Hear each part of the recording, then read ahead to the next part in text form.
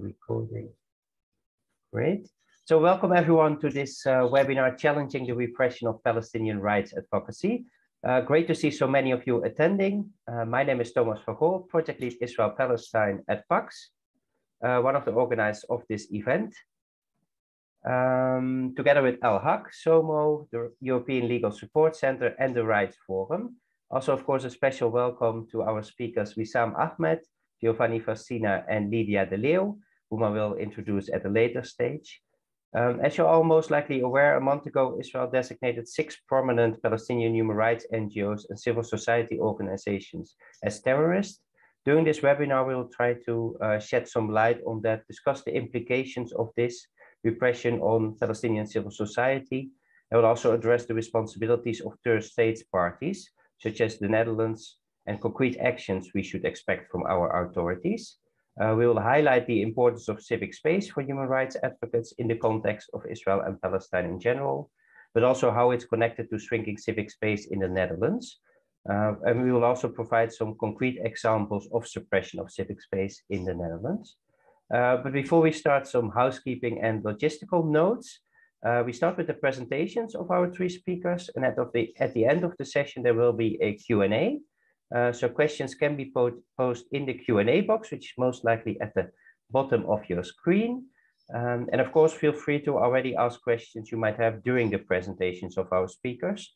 Uh, so then we can address them at the end of the, uh, of the webinar. And maybe some questions we can already answer uh, during the, the speakers, during the speeches of the speakers. Um, in case you might encounter any technical difficulties, please just send a message to all speakers and moderator uh, via the chat function and my colleagues will assist you. Um, I see that some more people are dropping in right on time. Um, then I think we are good to go. Uh, and I would like to introduce our first, first speaker, Wesam Ahmad. So Wesam Ahmad is a Palestinian American born and raised in the US. He has a BA and Juris Doctorate from Louisiana State University and an LLM from the Irish Center for Human Rights in Galway. He has been working as a human rights advocate with Al Haq since 2006, where he is now the director of the Applied Center for International Law and coordinator of Al Haq's Business and Human Rights Program. This area of research focuses on the economic incentive structure, perpetuating the colonization of Palestine along business lines. Uh, Wesam will provide us with some background to the decision to label the six NGOs as terrorists, of which Al Haq is one of them. Um, and El-Haq, as you might know, is one of the oldest Palestinian rights groups, one of the organizations providing input for the ongoing ICC investigation, and winner of many awards, including the Geuze Penning, which is a Dutch prize for human rights defenders. Uh, go ahead, Wesam, the floor is yours. Thank you very much, Thomas, for the opportunity, uh, and thank you for everyone uh, for participating and uh, taking uh, concern to the recent developments. And um, I think, uh, you know, I, I want to put everyone in a picture of uh, the situation within the broader context uh, of, uh, of as you mentioned, the issue of uh, shrinking civil space. Um, and Israel's attack on Palestinian civil society has been ongoing for, for years. And this recent escalation falls within this broader tactic that has been ongoing. And uh, over the years, Israel has very much been playing on the issue of behavioral psychology and connecting in the conflation of terminology of anti-Semitism, terrorism, uh, BDS, uh, human rights advocacy for Palestinians, Israel's existence. All these things are put in a narrative uh, to uh, to make people associate Palestinian human rights work um, in a negative light. And I think uh, uh, this is part of the, the challenge that we are facing now in having to bear the burden of proof of addressing Israel's allegations that are unfounded in the first place, but them being taken uh, at face value from uh, our European allies um, and counterparts uh, that uh, are waiting to see what evidence uh, Israel is providing. And I think it's the, the recent developments very much call into question Israel's uh, evidence and its methods of operation and how it uh, it uh, um, engages uh, with the Palestinian civil society. The recent revelations with regard to the, the Pegasus uh, spyware being used on Palestinian uh, human rights defenders um, is, is very much a part of Israel's ability to uh, exploit the captive population in Palestine and develop uh, uh, this kind of technology and use it and abuse it, and then also market it uh, outside where it's used against human rights defenders elsewhere as well. And I think uh, what we see is considering the power that Israel has as an occupying power in control of a population and the ability to develop such technology puts within its power the ability to uh, to control the the connections um, that exist at a digital level and uh, and uh, require us to really scrutinize and call into question the possibilities of the fabrication of evidence that can be used. And this was the thread that uh, we started pulling when we became aware of the suspicious uh, um, activity on one of our colleagues' phones. And so once uh, we became aware of this uh, and, and uh, gave it to a third party to investigate, um, it became it's clear that the Israelis were also um, put on notice that the Pegasus software was discovered. Um, and uh, this has been part of the, the narrative in the media that uh, it played a role in uh, having Israel move forward with this uh, additional step of escalation and the designation of the organizations was the discovery of the Pegasus software. And I think, uh, you know, this is part of the, uh, the broader uh, policy uh, that Israel is using to uh, try to distract Palestinian civil society from the work that it's doing and create this climate of fear in engaging with Palestinian civil society. And it is something that, as uh, our European allies, uh, especially in the Netherlands, um, Israel is playing to that uh, simple uh, human nature element of fight or flight. And Israel is betting on flight.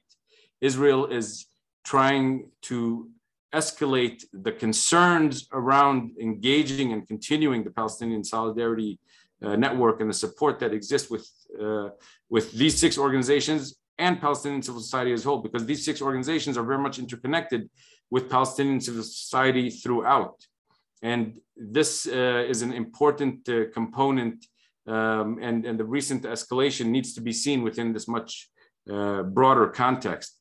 And it's also important to keep in mind that these tactics of outlawing organizations or designating them as terrorists, uh, um, these aren't unique to the Palestinian context uh, and the tactic being used against human rights defenders. It's been used in uh, the Americas, it's been used in Africa, it's been used in the Asia Pacific. Um, it is not a new tactic. And on the contrary, it is part of the relationship, relational dynamics between the colonizer and the colonized. Um, and uh, it is not surprising that Israel, in its policies, would deal with Palestinian civil society in their struggle for the right to self determination to use this tactic against them. And really, what's m- most concerning, I think, uh, for the broader international system of uh, the human rights regime and how it's evolved is over the years, and Al Haq's uh, development as well has been very much around uh, these tools that the international community has designated for us to be able to use in the process of decolonization, in the process of the right to self, the struggle for the right to self-determination, the tools that have been made available through the international system, international law and the international mechanisms that are available, including the International Criminal Court. But because we have been able to use these tools in a manner that still causes discomfort to Israel and its broader policies and colonial ambitions, uh, this is um, the response that we get uh, to try to remove us from the equation um, as an obstacle to that broader policy. And obviously, this sends a, a, a, dangerous message to international civil society as a whole and the faith in the international system functioning on the basis of the rule of law. And we feel like this issue needs to be seen much bigger than the six Palestinian organizations uh, uh, um, on the radar now because these kind of tactics uh, can be applied further to other organizations within the Palestinian context, but also elsewhere as well. And if Israel is able to get away with it, others will be able to as well. And Israel has been always uh, been able to play on uh, the sense of exceptionalism within the international system. But in order for a system to maintain its integrity, there can be no exceptions. And so long as Israel is able to flout this impunity that it enjoys and engage with the international community in this manner, uh, a, a, very arrogant manner, um, and uh, and use its power uh, in a way to undermine the possibility and the potential for Palestinian civil society to function, it threatens the integrity of the rule-based system of international law as a whole. And I think uh, uh, it's uh, it's an opportunity for international civil society to really stand up and the international community to push back and tell Israel enough is enough. The impunity that you have enjoyed, you are exploited, and uh, these escalations are a sign that your accountability is necessary and is a, recognized as a threat uh, to the integrity of the international system as a whole. And the role that you, as European allies, Dutch civil society, um, play an important role in contributing to that broader uh, support system.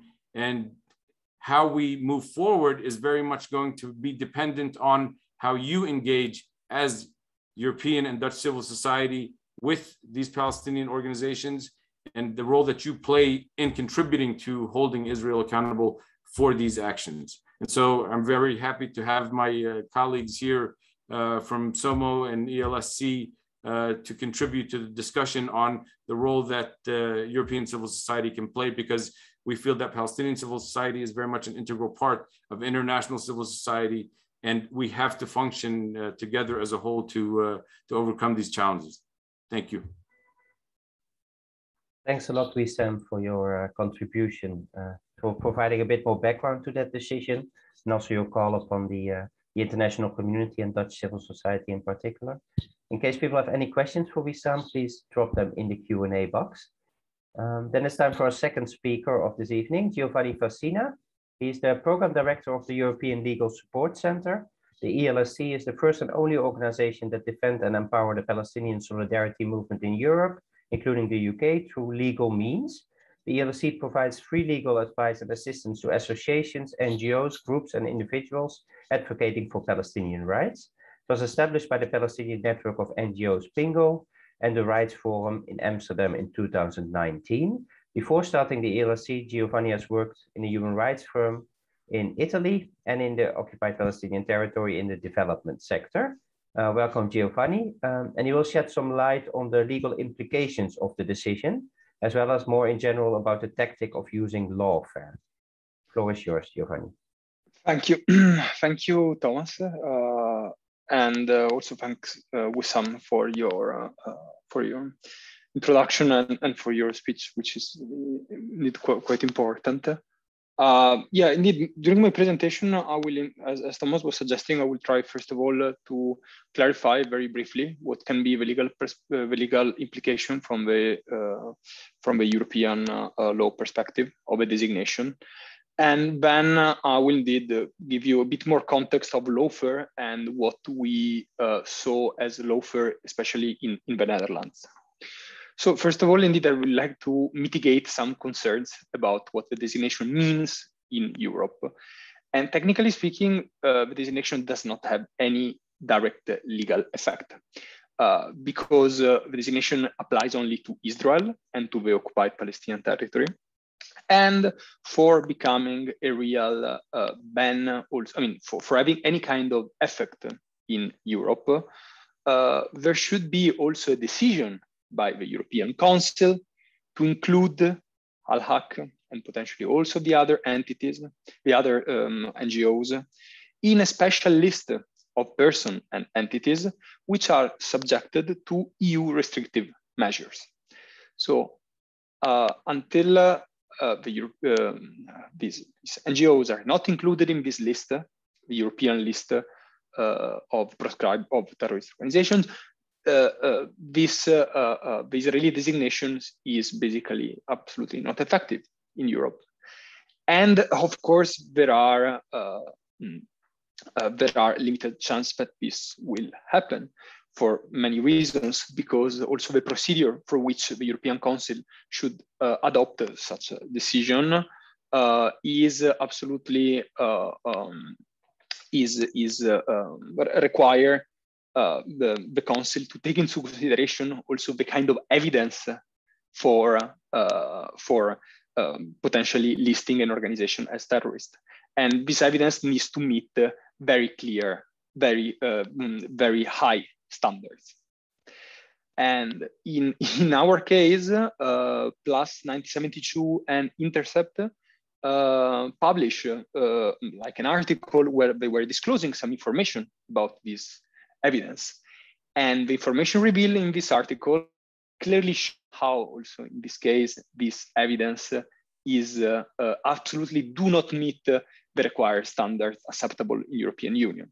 Basically, in the article, it shows that uh, uh, what Israel put forward was a transcription made by Israeli officers of an, inter of, of an interrogation with two former employees of uh, a Palestinian NGO.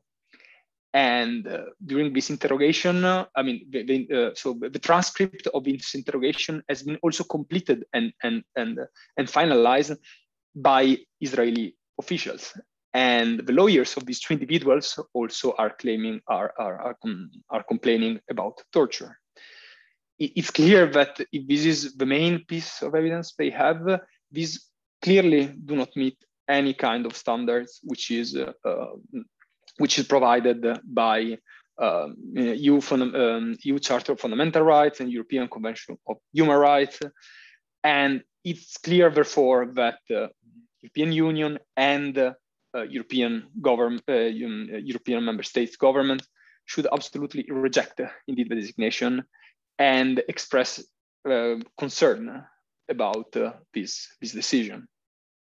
So if on the one side, the designation does not have a legal effect, anyway, it's indeed very worrying. And it's clear that the main, uh, the main goal of this designation is to push for the defunding of the organization. They want to create uh, uh, a negative uh, uh, uh um, the designation aims to um, badly perceive the organization as, as want to taint this organization and to make more and more difficult for the European governments to keep supporting financially uh, uh, the work, uh, the, the, extremely important work that uh, uh, these civil society organizations are carrying out. Uh, and indeed, the, the, this is um, this is extremely, of course, problematic and actually it fits perfectly within uh, a delegitimiz delegitimization tactic that uh, at the ELSC we've been documenting and observing uh, in a recent report also we, we published. Uh, the idea of labeling human rights defenders as terrorists or anti-Semite uh, is part of uh, indeed a pattern that uh, we observed Europe-wide. And in a recent report we published, we mostly focus on the Netherlands, and we try to better have a better understanding and a better, yeah, better understanding on uh, who are the main uh, actors involved uh, in, this, in carrying out these legitimation tactics and how these attacks take place. Uh, so what was very interesting in our report um, was in the report we found 76 incidents which are different kind. We have smear campaigns uh, uh, closure of bank accounts and also what we call defunding. The funding means uh, when it comes to the fundings, the fundings is a tactic where a specific actor is spreading uh, disinformation with the aim indeed to stop and cut the financial support from an entity to a specific organization which does, who does advocacy for Palestinian rights. Uh, from 2015 and 2020, we identified at least 12 attempts of defunding in the Netherlands. Uh, we've um, in, in regard on uh, so who, who carry out these attacks, uh, we identified two main actors. On the one side, we have primary actors who are responsible for the uh, for the defunding attack. And these actors, most of the time, are uh, pro-Israel advocacy groups, which are or in the Netherlands or in Israel. And these groups are indeed like organizations such as NGO Monitor, Shurat HaDin, International Legal Forum, uh, and who are based in Israel. And then we have also uh, in the Netherlands some pro-Israel advocacy groups, which uh, uh, basically copy and paste the allegation that these groups are putting forward and amplify them in the Dutch political and uh, uh, media um, environment. Uh, these are a small number of Dutch organizations, not too many. In other countries, the situation is kind of way worse. But it's very interesting to see how these groups work in coordination with each other for pushing forward these attacks. Um, and the second actor um, is what we call enabler third parties. Enabler third parties are mainly political parties or media outlets, some media outlets, that voluntarily or without appropriate fact checking uh, amplify the uh, messages and the allegations put forward by uh, the primary actors. And uh, I will give you a, like a, very clear example of them, of one of them. Uh, so basically in uh, January 2020, in the NGO Monitor, for instance, they published a report on another, another Palestinian NGO, Al-Mizan. Al-Mizan uh, is a human rights organization based in Gaza. They do advocacy work also uh, before the International Criminal Court. So they publish this report uh, making very, very inflammatory allegation that uh, many uh, that the individuals working for organizations and the organization per se have ties with uh, uh um, a proscribed group, uh, namely Hamas or the PFLP. And uh, immediately after the release of, the, of, of this report, we saw pro-Israeli Dutch groups like CIDI, Center for Documenting Antisemitism, and, and others which and which uh, immediately uh, republish uh, and, and sponsor, I would say, the report. Uh, and then we had like uh, the Dutch right-wing newspaper, like the Telegraph, which started uh, writing articles about the report. And then we had, and, and, and this, so basically is a kind of, build, they, they start building pressure till uh, uh, um, uh, mm, uh, far right uh, MPs from the far right parties, Party for Freedom, the party of Wilders, they made parliamentary questions questioning the Dutch government, asking clarification to the Dutch government on why they were funding an organization that in theory is alleged to be, to be a terrorist organization. So this for us was very interesting because this really is a perfect example on how you know they, they, they, create a wave which it's it's it's aimed to indeed uh, smear and and and taint uh, the the the organization. This is only one of the main example and for us was most relevant one because in this case the dutch government for the first time issue a very good response where they completely rebut and they completely dismiss the allegations saying the allegations were extremely vague that the fact that mm, they, they, clarified that uh, some individuals in theory, which in theory were supposed to be uh, affiliated with the proscribed group uh, were actually uh, not, alive anymore. So information was very uh, outdated. Uh, and it take a really strong stance in refusing indeed this, this, um, this accusation, which is something uh, it's something I would say is yeah, still remarkable. Um, and this is exactly what uh, is needed now after the designations. Uh, the main, uh, indeed, the main, the main issue, the main problem we have been seeing is the reluctance of uh, uh, of, of um, governments and the European Commission to take a strong stance against uh, against these accusations. And, and, and so this is indeed kind of very problematic because uh, uh, it potentially open, could create doubts about the fact that the designation is absolutely uh, it, it is baseless and and and um, and indeed should be rejected. Uh, I would like then to to to conclude uh, also uh, quoting from uh, the, the, the military or um, quoting not military or sorry I would like to um, conclude quoting the uh, some parts of the uh, designation uh, which was made against indeed the Al-Haq. So when Benny Gantz, the Minister of Defense, issued the designated the, the NGO, uh, there is a, a, there are a few lines which are very very interesting, where basically they they outline the cause for designating uh, Al-Haq as a as a terrorist organization, and it says I'm reading. Al-Haq was established in 1979 and became an arm of the Popular Front from the Liberation of Palestine. Uh, the declared Al-Haq activities are in the field of human rights protection. However, in practice, it is engaged on the behalf of the Popular Front in the promotion of steps against Israel in the international arena, which constitutes part of uh, the organization, uh, the, the PFLP struggle against Israel. This is, for me, a, a very good example because uh, uh it's steps against Israel in the international arena, which in clearly includes legal steps and legitimate form of advocacy that are widely protected in EU and in the Netherlands. So, uh, mm, uh, and here I conclude, uh, it's, it's clear that this designation is a combination of, uh, of, of, attacks that started way longer ago.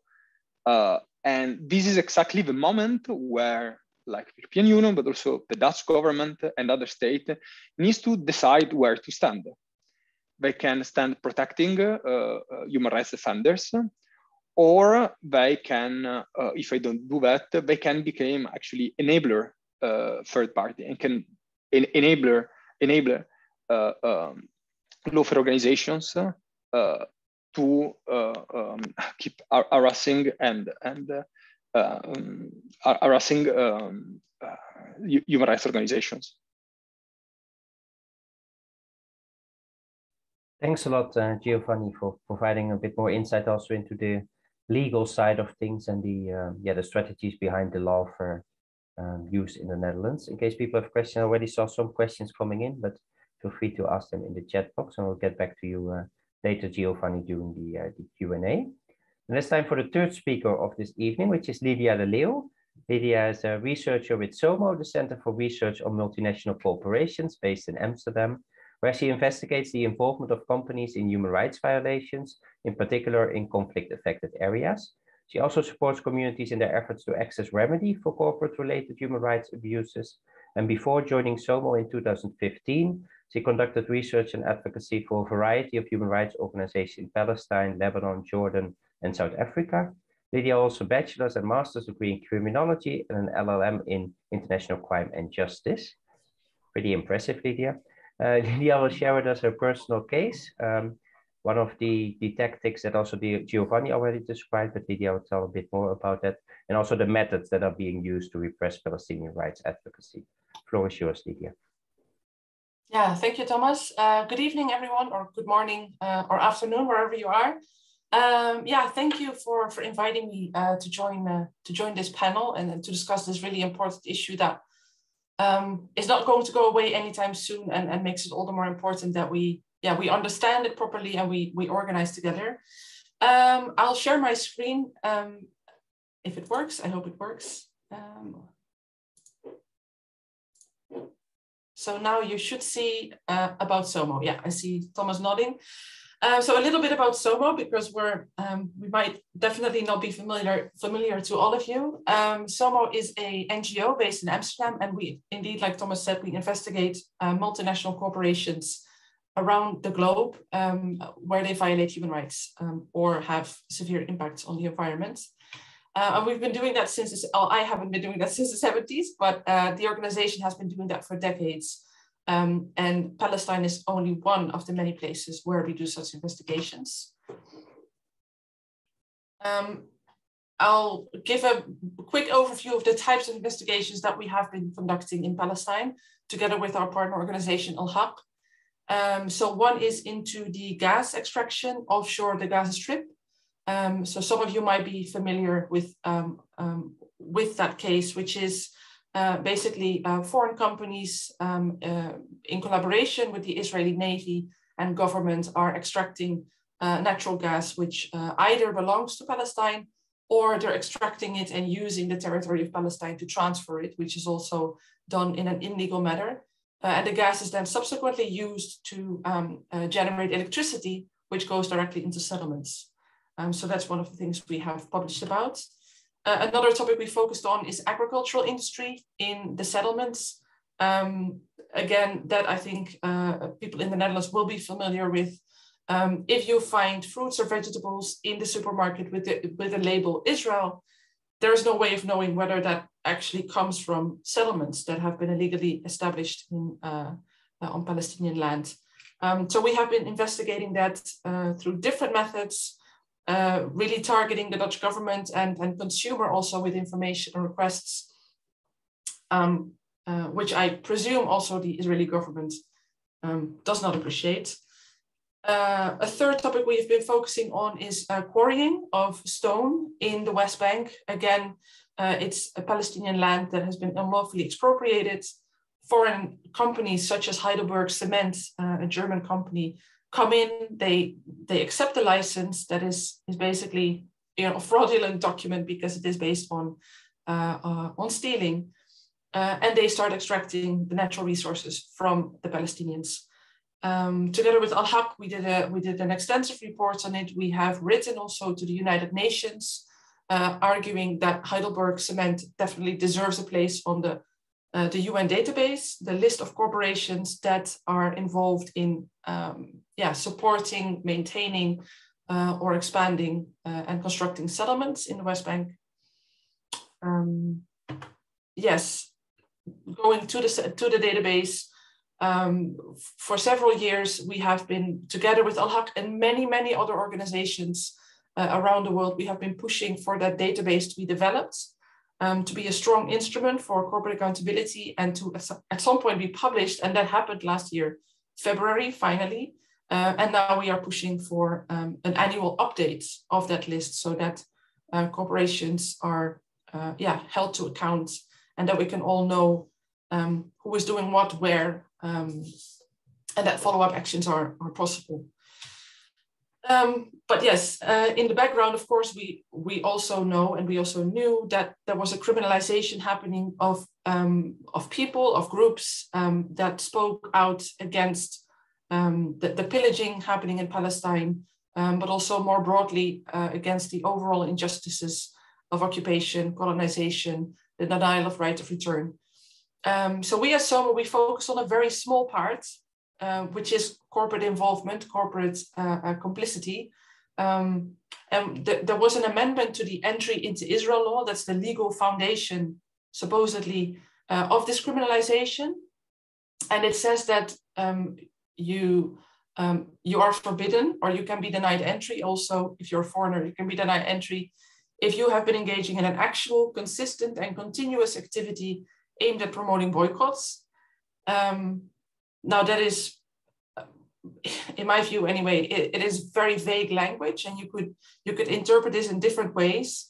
Um, so when we say, you know, the criminalization of BDS, I, I do put it in, in brackets there or in, in, in hyphens because um, there is no there is no such thing as the the there's no mathematical definition of BDS. Uh, let's say there's no uh, when I was being interrogated, but I'll get to that later. I also joked to the interrogator saying that you know should I have a membership card? Should I have signed something to say that I sign on to uh, to this group? Uh, it's it's it's something that is constructive constructed politically. Um, so when it first started being used um, to keep foreigners out, it was selective targeting of individuals not necessarily people who had a lot to do, um, you know, the frontline BDS activism, but simply people that were, were going to be framed as such to try and, you know, with the aim to scare away uh, critics uh, and, and scare away people who would feel somehow affiliated or uh, uh, connected to those advocacy messages that were being carried.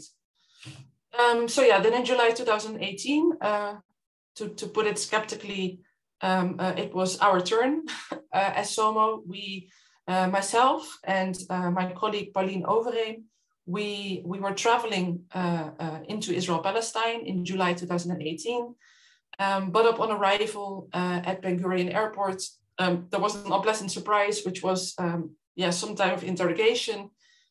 Um, and in my case, there was also there was already a, a, file of some sort with with basically with screenshots of my social media posts from years ago, lying on the desk, uh, and there was already a decision ready on the table saying you will be denied entry based on this uh, uh, legislation legislation and uh, you are BDS and well, sign this and we can send you back to Amsterdam.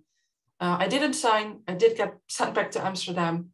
Um, yeah, and what happened next is we have been, well, the, the first thing, no, maybe I should take one step back. Um, what I found striking about the way that the denied entry was conducted um, is that it was um, uh, conducted in a way to not just, it, it wasn't about me, I don't think it was about me uh, necessarily, um, but it was very much outward, uh, outwardly directed. So um, when I was still being interrogated, um, there was already, um, news was already being pushed out by the Ministry of Strategic Affairs, the Ministry of Interior through Israeli media to say that I had been stopped at the border, at the airport, uh, I had been denied entry. I was a BDS activist, and and but you know they were not going to tolerate people like me coming into the country. So it was about sending that message to an audience outside. You know, people that are critical of what is happening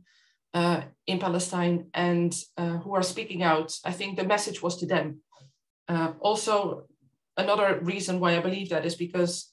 Uh, for the whole time that I was in interrogation until I was put back on the plane, um, my belongings were taken from me, including my phone, uh, uh, quite violently. There was no way of me for me to access a phone, which people around me in the waiting room, you know, people that were going to be kicked out, everyone was on their phone, um, but I was denied access to my phone. And every official I asked, you know, can I use my phone? I need to make some phone calls. I have the right to call my embassy. I have the right to this, that, and the other. Um, and they all had this pre uh, uh, pre-recorded sentence almost saying, um, no, you're not allowed to have your phone. And when I would ask why, they would say, um, yeah, we received orders. We received orders from the highest level. So it, it, it was clear to me that it was, um, in that sense, it was well organized. And the purpose was for me not, it the purpose was so that I couldn't get my message out, so that I couldn't uh, resist the, um, the, the, the deportation so that I couldn't, for example, make a legal challenge or say, well, just put me in detention and I'll, I'll stay here until this is sorted out. That was all uh, not an option. Um, yeah, so then what happened next? We engaged the Dutch authorities, asking them to, uh, well, condemn, but also asking them to obtain more information because uh, other than a little piece of paper that I didn't sign, there was nothing that would justify or that would explain why I was denied entry. And for my colleague Pauline, um, there was not even any, there was nothing. There was no paper waiting for her, uh, um, and she was not given a reason for why she was denied entry. Um, we've re requested information from the Israeli authorities to no avail. Uh, and when all of that didn't work, we started legal proceedings um, the long the, the long story short is that um, we were denied access to information uh, on all accounts. We filed Freedom of Information Act requests with the Israeli authorities, and uh, they simply weren't giving further information until it was appealed and appealed. And then finally, our lawyers, uh, they did obtain uh, some underlying documents uh, which was it was basically a political screening and uh, a listing of the work that we had been doing also as SOMO. So it made clear to us that possibly the research and the advocacy that we had been doing as SOMO, um, yeah, made us end up on, on their radar. Um, so yeah, again, it's a political screening process. Um, this was, we thought it was very necessary to put in all the effort to get the information because we did understand also after speaking with, with you know, people who can know, people who are on the Palestinian side and, and people who've been working on shrinking civic space for years, they all say transparency is your friend. Um, you, you are doing the work that you're doing. You know, there's no obvious reason for why you shouldn't be allowed in. So put the burden of proof, the burden of proof on them as much as possible. So the more information that comes out on you, about you, uh, and about the reasons for your denied entry, the better it is, and the better, the stronger it makes your case, and the, the more obvious it becomes to the Dutch government what this is all about, which is the, the broad context of shrinking civic space. Um, so going to the Dutch government, we, we asked them to raise it with the Israeli authorities. They have raised it, but also again repeated that this is a, an issue of sovereignty. Every, uh, every government has the right to decide who enters into their territory and who doesn't. Um, and they don't take a position because they say, well, we don't have all the details, we don't quite know. Um, so yeah, that has been quite frustrating and, and that hasn't really changed. Um, but I'll get back to that later when I speak about the larger context. Um, yeah, as I said, finally, we, we got some information um, that shows that our research work was connected to the denied entry. So what is next? Um, the legal challenge of the, the decision to deny our entry uh, led to nothing. and uh, ironically, you know, the Israeli court eventually said, or the authorities eventually said, um, you cannot challenge this decision of your denied entry anymore because you're too late. Uh, well, the reason we were late in challenging is because we never got any information to base our, uh, our legal challenge on. So uh, we were set up to fail, obviously. Um, but we are trying something new, which is challenging the, the status, the denied entry status, because that is something that is a legal status that has been imposed upon us, a denied entry status. Um, our lawyers discovered that um, um such a denied entry status in and of itself has never been legally challenged before. Um, so we are doing it now. And if the court confirms that you can place you can legally challenge it, the, the, the denied entry status, then that might, we hope, that might set a positive precedent for, for anyone facing the same uh, um, yeah, designation. There are, I think there must be thousands of people, people from the Palestinian diaspora, uh, activists, critics, journalists, um, who have this, this uh, denied entry status. So if that can be, because it is a legal status, and if it can be legally challenged, um, if the court says it can be legally challenged, that that would hopefully open the door to, um, yeah, some successful proceedings by others as well, and will hopefully raise the um, the threshold for for the Israeli state to to just do that. You know, just hand out these red stamps and passports and say um, you're denied entry. The second thing we are doing is continuing our work. Uh, so there's there's no reason for us to stop working uh, on the issues we've been working on, yes, it becomes more difficult because we can no longer um, uh, physically access uh, Palestine.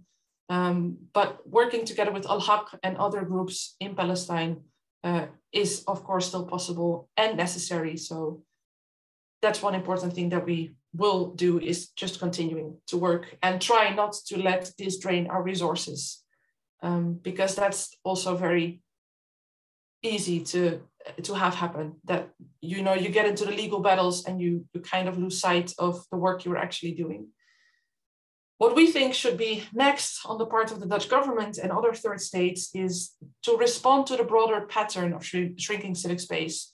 So the case of me and Pauline is, you know, this size in the whole um, in the whole grand scheme of things. Um, but there are patterns, patterns, and there are there are always new developments and what is happening now with the designation of the six NGOs uh, is just the latest phase in that in that policy, in, in that approach of shrinking civic space.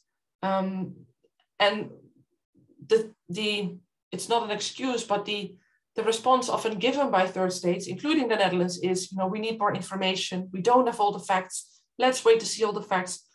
but that is exactly what author authoritarian regimes will use is to say, well, there's secret evidence. Um, you know, this is under investigation. This is intelligence. Um, and they'll they'll just say, you know, they can just put the accusation out there, um, put you on the defense if you're not, yeah, it, if it works out in in a in a in an awful way, you will be put on the defense.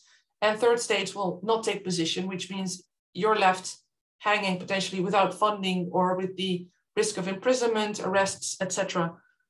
Um, so there needs to be a proactive stance. You, you cannot let authoritarian regimes like the Israeli government uh, um, yeah, dictate how civil society can or cannot uh, um, yeah, uh, have space um, to conduct itself. So it needs to be recognized for what it is. This is an attack on civic space. And um, if there's if there's any evidence, I'm sure that the Israeli authorities would have shared it a long time ago. Um, so it needs to be recognized for what it is. It's not any different from any other authoritarian regime um, that we see around the world. And I think for wider civil society, uh, we have a complementary role to play to that of states. So I think first and foremost, states have the responsibility to protect human rights. It's an active obligation, uh, and we complement it. We um, uh, we don't have to take on the burden of that responsibility, but we complement by supporting each other, showing solidarity, organizing events like this um, um, to analyze, organize, uh, strategize.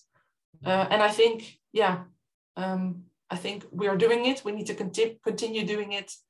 Um, and yeah, and and at some point, at some point, the pushback will be successful. But um, um, yeah, it's uh, it's it's a struggle. I think uh, in the Netherlands we we are now pushing for the Dutch government to take a better position, which will hopefully yeah will hopefully come through in the coming weeks or or months. Um, yeah, but there's I think uh, um, no, as Giovanni said, there's no reason for us to be um, worried about implications here.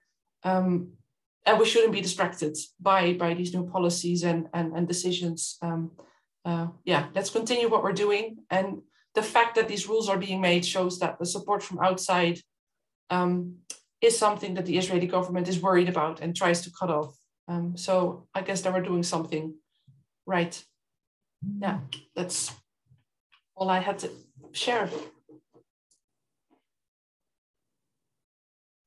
Thanks a lot, Lydia, for this uh, more personal story. Uh, I think also to, yeah, you can see the trends that happened in your case that Giovanni also described and that are happening now in the current designations that uh, Wesam also talked about. Um, then we now move on to the Q&A part. I already saw quite some questions coming in. Um, I saw that there were three similar questions or like one similar question for all three speakers. So let's start with that one. Um, what would be your main message to people here listening? What can people do about this? Um, maybe we can start with Wesam, if that's possible, then we make a round.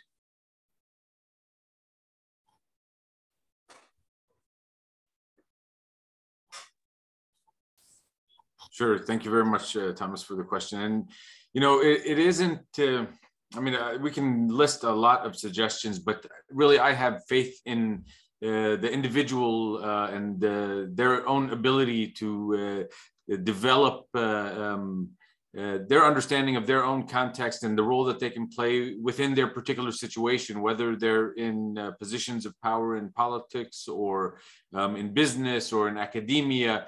Uh, every individual can play a role in in challenging this issue, but also keeping in mind that um, you know, the fact that we are still operating today after these issues, uh, in my mind, shows that the, really the, the, the main target is you, you, the external support structure, the, uh, the support system that exists that uh, uh allows Palestinian solidarity uh, to, uh, to develop and, and the message to be amplified. And the, the tactic of uh, using this uh, issue of terrorist designation is really an attempt to scare you away from this continued support, scare you from raising it in academia, in politics, in, uh, in business. And uh, in order to counter that, we have to recognize uh, how it's being used against us in a uh, in a psychological manner, and that empowers us to be able to confront it. And I think uh, um, different individuals have different uh, capacities that they can uh, develop using their particular individual situation. And it is at these times when we face uh, adversity as a collective where some of the most um, innovative ideas to counter can uh, can develop.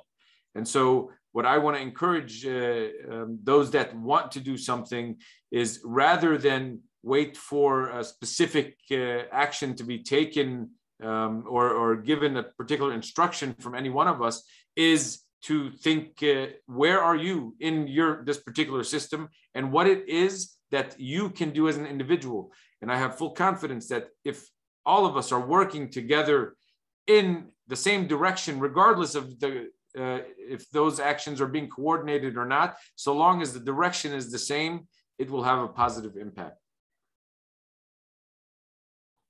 Thanks, Wesam. Anything to add, uh, Giovanni?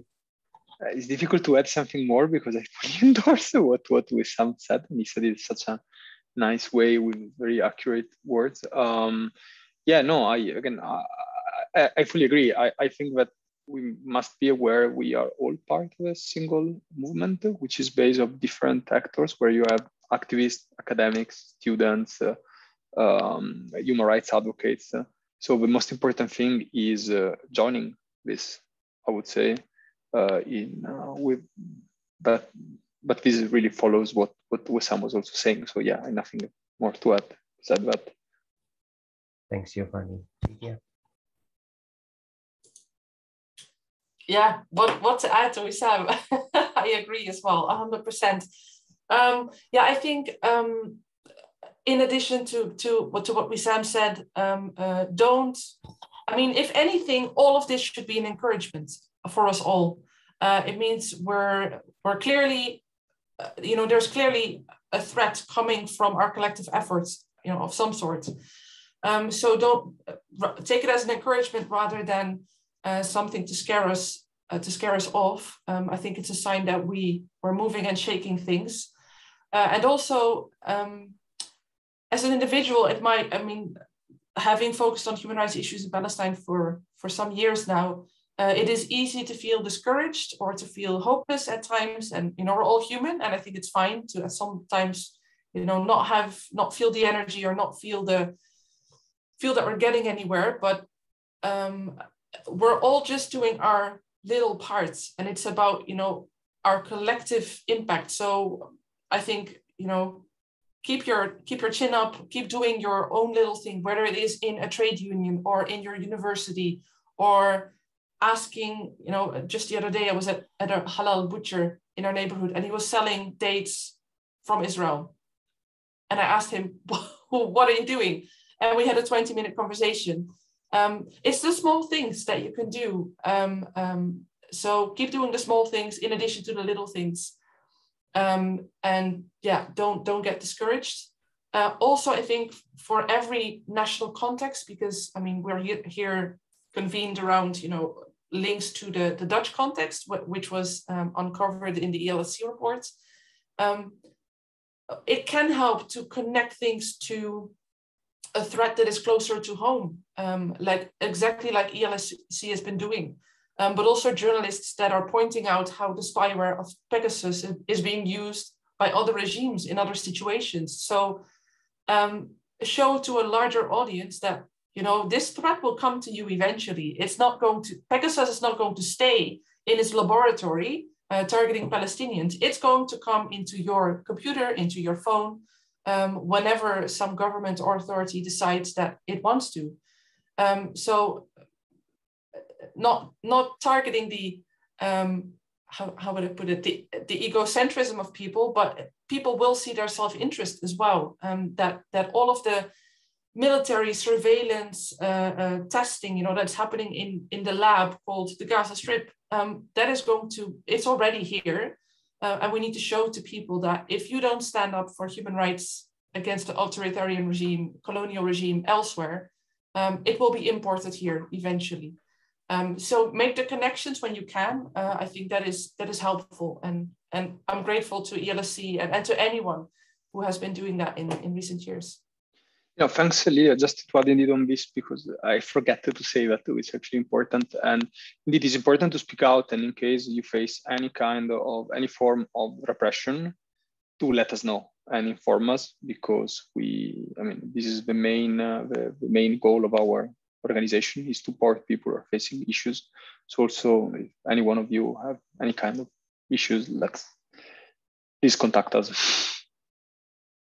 And also, if uh, if I can add uh, as well, uh, I mean, uh, the the message that uh, we've heard about, especially from Lydia, and and the importance of the work that they're doing and that we're all doing, and how it's it's the nature of that work and the message that it delivers is really what scares Israel and and what leads them to take this action and uh, their attempt to try to silence the messenger needs to be taken as an opportunity to amplify the message and their uh, desire to isolate the six organizations as if uh, the, the message will somehow disappear is very similar to the anti-BDS legislation as well. But it is taking these uh, attempts to restrict the message and amplifying it on your part is, uh, is uh, one of the tactics that we can use to to really just simply uh, uh, take away the force of what they are trying to do uh, by countering it with an even stronger message. And you know the, the Palestinian uh, injustices that we face are really a microcosm of global injustice, and and we see similar things uh, in different parts of the world. And uh, you know I of course appreciate the efforts with regard to Palestinian solidarity, but I also very much appreciate the, the work being done on uh, addressing injustices in different parts of the world as well, because those injustices, when they are confronted, they are confronting the injustices that the Palestinians are facing as well, because this injustice is very much a global issue that needs to be addressed. Thanks a lot, Wesam, and also Lydia and uh, Giovanni. I saw an interesting question popping up about the ICC investigation, uh, and I want to take it a bit broader, if you allow me. Uh, so what consequences does the um, designation of the six NGOs have for the ICC investigation? And I would like to take it two ways. So on the one hand, does it influence the information provision by designated uh, organization? Does that influence the, uh, yeah, the position of the NGOs? Uh, and also the other way around. So does potentially the designation could be part of the investigation at all? Um, sorry if I'm making it a bit more difficult, but Wesam, maybe to give the floor to you as first, and maybe the others to add. Sure. Uh, I mean, I'll address the second question first because I think that's the more uh, challenging one that I really don't have an answer to how it, it, would play out in the broader investigation. Obviously, the ICC is set up to address the most grave crimes, and uh, um, uh, you know this issue is is important, but I don't know if uh, the ICC, considering everything else it has on its table, that this would be one of the things it would take into consideration. Uh, with regard to how uh, the designation addresses the the um, influences the information going to the ICC, I think this is you know part of the reason Israel is taking these steps against Palestinian civil society particularly um, some of those organizations are very much involved in the ICC process and providing information.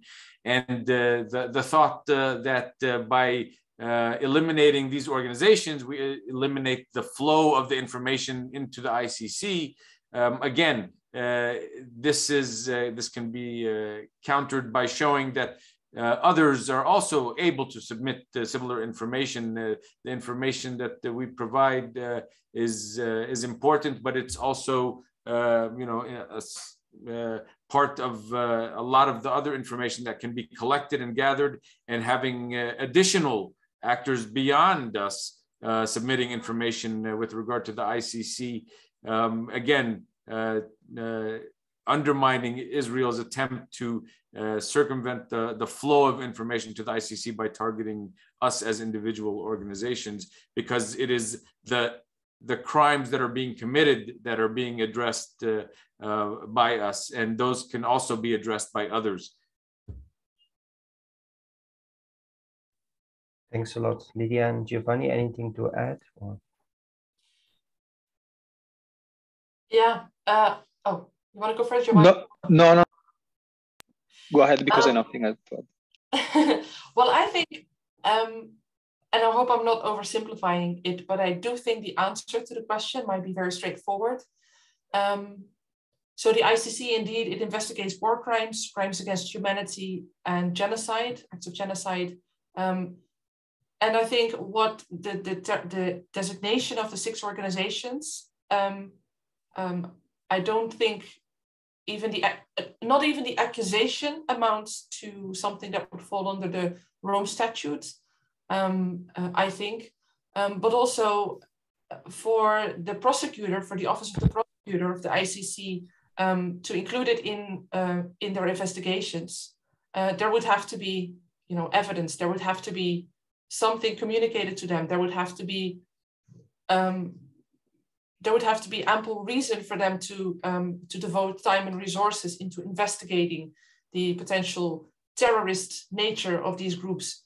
And since there is no evidence, um, I think um, there's no need for the Office of the Prosecutor to, to, to look into this at all. That, that's my hopefully not oversimplified view.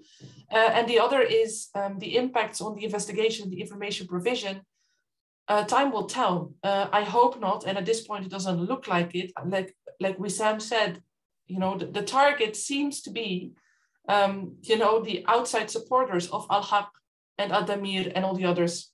Uh, it's you know to scare away funders. It's to to cut off uh, uh, the lifeline really for some organizations. So as long as that doesn't happen, and the groups that are providing information to the ICC can continue their work. Um, then it shouldn't have an impact. But that's really a loss. That's on us. That's on our governments. That's on the EU. That's on all, you know, all the the the, the bodies that that are involved in funding and support to these um, to these groups. So, and in terms of Israel's um, collaboration or cooperation, I should say, with the ICC, there's nothing lost there um, because they are not collaborating. Um, so I, I don't yet see anything lost on, on, unless we let them.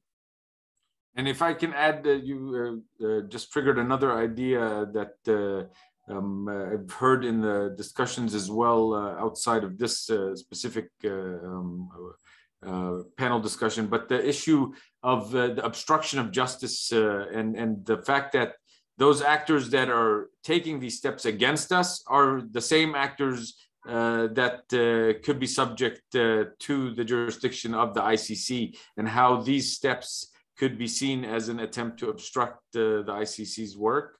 Um, this might be something that some of our uh, participants might be interested in looking at further as well. Thanks, Wesam. Also, thanks, Lydia.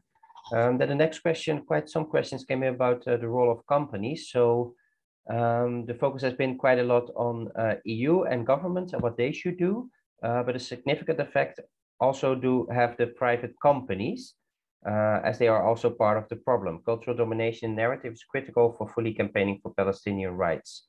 What are your thoughts on that? Uh, I know, Lydia, that you touched upon it a bit on the role of companies. Um, could you maybe elaborate a bit more on that? And if you see also a link um, with with companies and and this this whole repression and what they could what role they could play maybe in light of the UN database. Yeah, yeah, yeah, yeah. Um. Well, in, in the broader like yeah, there's so many levels, right? So there's companies in relation to civic space. So maybe I'll address that first. Um, well, you know, we we have, or we, um, not me personally, um, um, people more broadly um, have been calling out uh, social media companies for the censoring of Palestinian voices. Um, there's the yeah, there's uh, 7amleh, the Palestinian group. There's there's collectives outside Palestine as well. Um, that yeah, that are, that are really calling out these companies and saying, listen, you are part of the problem. You are you are conducting the shrinking of civic space um, by your actions um, and by deleting or blocking Palestinian accounts, etc. So, so I think that's the very that's the most obvious link, no, between the Palestinian civil, context of civil society and um, uh, and private corporations, um, where really they are not operating in line with um, with their obligations, so they're not respecting human rights. Um, and, and for that, I think we need to keep pushing them and um, wherever we can, um, yeah, get get it publicly on the record that it is not um, it is not okay, it's not justified, it is contrary to the international standards on business and human rights. Um, and yeah, we need to educate them clearly, um, unfortunately. Then uh, more broadly, um, another example is, you know, companies can divest from, you know, their involvement in uh, unlawful acts in, in, in Palestine. And they do, you know, sometimes it's a pension fund, sometimes it's uh, it can be any type of company. Um, and it would be most helpful if those companies do issue strong statements as they leave, as they responsibly divest from, uh, from those violations.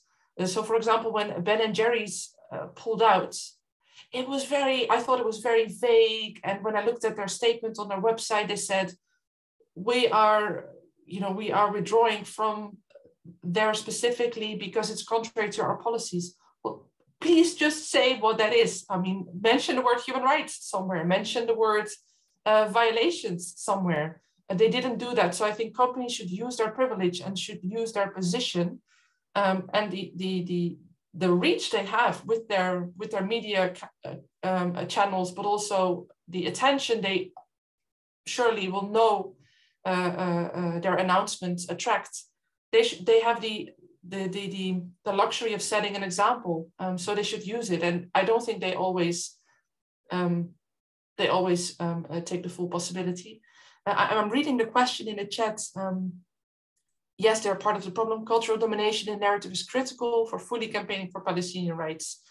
Um, yeah that that's the other thing. And i think it was called out as well. For example netflix um, uh, until very recently had the I mean, it, the content is still on there. The worst uh, insidious content in relation to, you know, kind of, um, of course, a racist portrayal of Arabs in general and then Palestinians in particular. As you know, there's something terrorist about about them. Um, uh, I mean, we all know the examples that that are existing on Netflix, and even I think it was uh, Al Haq that was mentioned in Homeland at some point. It's just it is ridiculous. It's crazy. And it was called out um, by civil society. And now, about a month ago, I believe, uh, uh a couple dozen of um, you know Palestinian produced um, uh, films, documentaries, and series were were added under the header of Palestinian stories. Um, so I think narrative, cultural narrative, uh, uh awareness, um, and countering that racism that is underlying a lot of that content, I think um, uh, is important as well because um, I think it is interrelated. I mean, the Black Lives Matter movement has made the connections beautifully, which is great. Um, but the for a broader audience to have open ears and eyes, I think there is sometimes also a barrier um, to overcome, which which is really caused by you know by these by these harmful narratives that are being uh, uh, put out there. So I've only addressed like a few minor, minor examples. Um, yeah, the do no harm is the overarching one. Like don't be linked or involved in violations, but but there's more they can do than just that. If I can add uh, as well, and I think uh, you know the, the role of corporations fits within this uh, broader economic incentive structure that uh, Israel has um, in in the refinement of its uh, best business practice of colonialism. And uh, and the issue of uh, the development of research and technology uh, in this the the cyber area is a is a case in point of how Israel is able to make use of the captive population to develop such technology, not only use it um, uh, against the Palestinian population, but also export it abroad. And those exports are to willing buyers. And those buyers uh, support the uh, economic incentive structure for Israel to continue because it is reaping a benefit from its activities. And uh, to put it in a more direct, uh, maybe actionable point to you as European civil society and, and Dutch civil society in particular, these relationships that Israel has and agreements such as the Horizon Agreement on research uh, cooperation, uh, I think uh, you know this is an important opportunity uh, for uh, for you to step up and say uh, we need to freeze these kind of agreements until we better understand how these agreements uh, and and the kind of cooperation is contributing to this issue as well. Um, and I think uh, you know a, a, full inquiry into the EU's relationship with Israel in areas of research and development and trade and investment how this is contributing to the development uh, of such technologies and their use and abuse, uh, not only within the Palestinian context, but elsewhere as well. And uh, I think this is uh, one of the things that could be done in a very immediate sense uh, to put a freeze on uh, moving forward with agreements such as the Horizon Agreement. Because so long as there's this sense that there are benefits being reaped uh, through this cooperation, uh, then the the violations that are being committed during the course of this research and development uh, will be seen as uh, simply secondary to the benefits uh, that are being reaped from it. And obviously, this uh, has very long-reaching ramifications of the impact on on you know the society as a whole in a global sense uh, that we need to uh, step up uh, and, and try to address. Thanks a lot, uh, oh, go ahead, Giovanni. You know, just to add very briefly, because indeed already Lydia and Wesam addressed the topic very, very well. And I would like, and as Lydia also was saying, we have different levels. You know, I mean, we have companies who are involved uh, in uh, uh, enforcing human rights violation in Palestine, or we have companies which are enforced in uh, enabling shrinking space as social media platforms for instance. I would just focus on the second one because are the companies we mostly dealing with, which actually are social media platforms or banks and financial providers, which indeed most of the time, let's say they uh, surrender they, uh, to, to, to, to the, allegation coming from lawfare actors. And uh, by doing so, they ban pro-Palestinian voices. Uh, in this case, uh, first of all, if you have, I mean, I will repeat this again. It's always to me very very important to uh, don't surrender and organize, organize and organize even more to, to react. Because our experience is that most of the time when people I don't know they they delete your Facebook page uh, or uh, um, they block you on Instagram, most of the time people just get scared and and take a step take a step back. What we actually notice is that when uh, people are connected one each other and when they are supported it's it's absolutely it's actually possible to to fight back and to push back and and this is possible only if people are organized themselves collectively and are and are supported uh, um, we just put it in the chat uh, this this form by 7amleh. Report if you have any incidents with social media platform report this to them. Uh, okay? Because we have direct access also with, with with these companies I can speak with them. And and and and, and in general also for, for for for other companies bank providers we had some experience with, with them. And in some cases it's absolutely possible to come out because all these companies are just very also afraid of a reputational damage. So when you know you can show pattern of discrimination of a specific company against a specific uh, group of, of people and you start calling out for what it is uh, companies will think it twice the next time because for them most of the time it's a business decision which is based on pro and cons how much they earn or how much they will lose. That's it. But when they realize that the reputational damage they can face because people start organizing and, and, and calling them out for what they're doing publicly but well next time they will think twice for sure. So that's that's it. Thanks a lot uh, giovanni and also we for that addition of the lydia um, then one specific question directed to Giovanni. In light of the suppression of civic space, you mentioned the um, defunding as one of the, the targets that, or one of the um, approaches that's being used, one of the strategies. Um, can the Dutch state have an influence on Dutch banks to prevent them from stopping their financial services to the designated NGOs?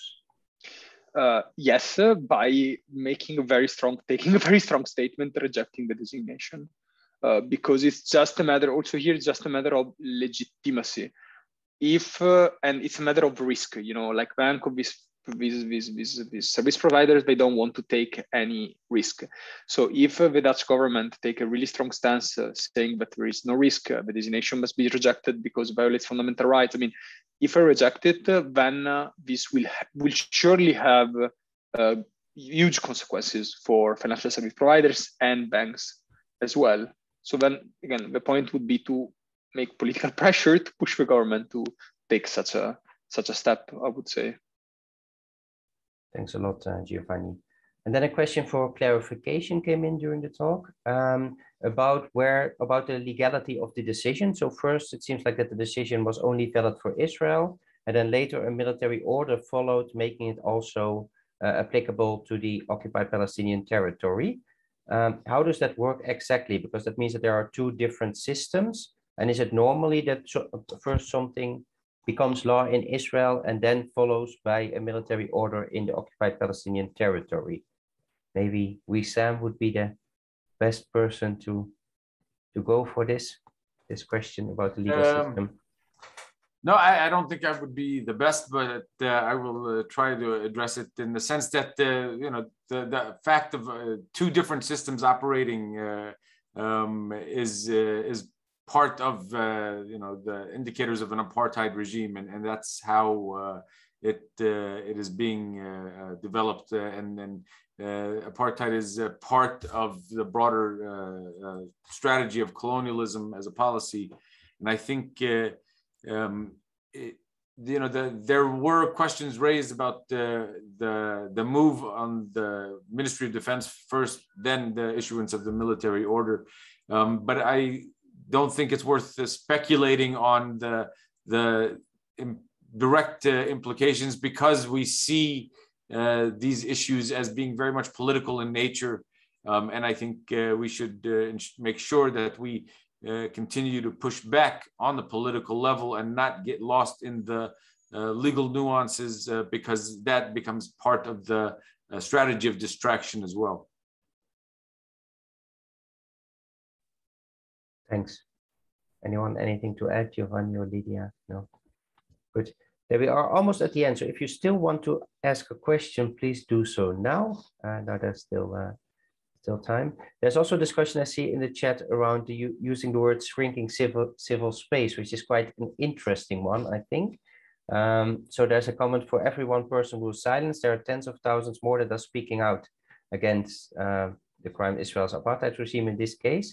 Um, how do you reflect on that? So indeed, like it seems like also with this decision um, that while there are six organizations being labeled as terrorists, that a lot of civil society organizations are speaking out, a lot of media organizations are speaking out. Could it also have a kind of a positive effect of really showing what is going on to more people, or would that be too positive of an uh, interpretation? Maybe starting with Lydia. Um, yeah, I I want to believe that it has at least it has a, a, a positive impact on awareness of people outside uh, of Palestine uh, of what of what the system is about. You know, it's about oppression. It's about um, uh, extraction of resources. It is about domination. So um, yes, I want to believe that it it you know this these are the kinds of um, events that show the true colors and the true nature of the political system. Um, um, but it's um, it's not a given that it is properly portrayed and contextualized uh, and narrated in our media. Um, so we as civil society, I think we are trying to do what we can, um, and we should do what we can to make sure that it is properly understood, interpreted, and recognized for what it is. Um, but I, at least in the Dutch context, I do see, um, I do very slowly, but I do see uh, a shift for in, in the right direction. Um, um, yeah, there's in media, there's, they often say there's an Israel-Palestine fatigue, and I'm sure that's true. Um, but it's um, it's no longer something outrageous to say, um, you know, that there's an occupation and a racist system uh, in place in Palestine. That's it's kind of common knowledge now that something is really uh, wrong. So um, apart from the disastrous impacts on, on Palestinians of all these developments, um, it is showing to the outside, it is showing the true colors um, uh, and, and intention of the policies. Um, and it, I think also, uh, last point, in, in, a, in the Dutch context, uh, I think um, when it is about, you know, restricting uh, freedom of expression or when it is about, you know, putting in, in uh, putting a ban on, on human rights groups, etc. I do think that strikes a particular chord here with people. That's that's when they start to notice that something is really off. Um, so yeah, we just need to make sure that it's yeah it keeps getting uh, the attention and that that the interpretation of it happens uh, happens correctly. I think that's really important. Thanks a lot, Lydia, uh, for answering that also just saw in the chat that uh, someone mentioned that the Reporters Without Borders awarded prizes today, um, and that two of the uh, people who won are a Palestinian journalist and the people behind the Pegasus project. Um, so that's also an interesting development, I think, in light of this. Uh, and also a question came in related to that, the discovery, or kind of related. The discovery of the surveillance by the Israeli NSO group seems connected to the designation. What can the Netherlands and the EU do about this illegal surveillance? So it's really about this, um, yeah, the surveillance in general. We talked already about it a bit. Uh, is there anyone who would like to tell a bit more about that or elaborate a bit more about that? Maybe Giovanni? I will leave also, I think also with Sam as something, I will leave the floor to him first if he wants. Then yes, I would have a couple of ideas what Netherlands and EU could do on this. So we sent the question what uh, what the Netherlands and the EU could do about this illegal surveillance around the uh, and yeah, I, I mean, I, I think uh, you know the issue of uh, conducting an inquiry into understanding uh, what role the EU relationship uh, with regard to uh, research and development, uh, um, trade and investment, and, and understanding the connections between the development and use and abuse of such technology, um, and how the EU's relationship with Israel is contributing to this is is very important and and uh, um, essential to really understand uh, and, and not disconnect uh, the uh, relationships on areas of research and development to what is happening uh, on the ground.